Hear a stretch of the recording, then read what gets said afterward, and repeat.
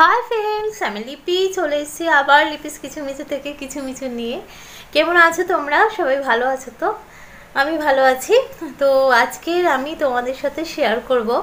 আমার গোপু, গিরিধারী, তারপরে গোপী, তাদের অঙ্গরাগ করানো হয়েছে। এক ভাই করে দিয়েছে। মানে সে ভাই শিল্পী।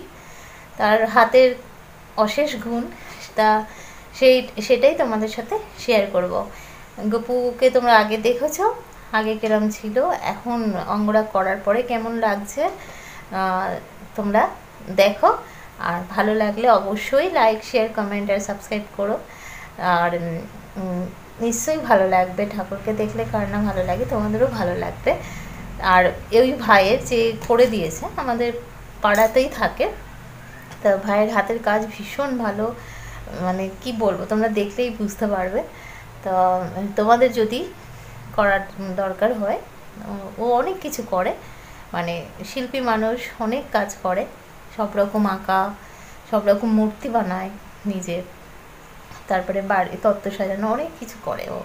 তা সেই, সেগুলো যদি তোমাদের লাগে, তাহলে আমার এতে লিঙ্কে লিঙ্ক দেওয়া থাকবে, ওর ফোন নাম্বার দেওয়া থাকবে, নাম দেওয়া থাকবে। তোমরা ওর সাথে ডাইরেক্ট কন্ট্যাক্ট করে নিতে পারো।